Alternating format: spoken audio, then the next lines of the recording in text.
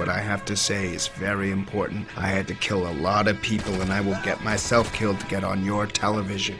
I want to give you the facts.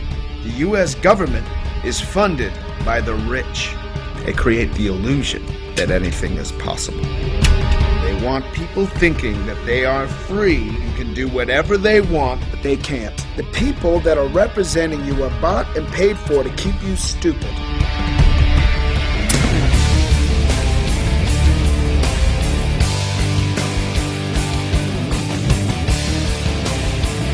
Reality is that every war was about money, and the stupid people must die because the elite decided.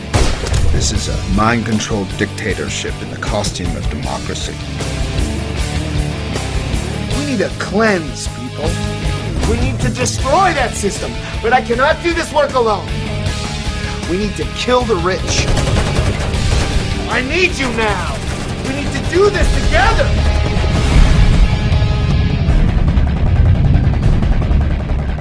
I want to make you wake up and change. Oh! Thank you.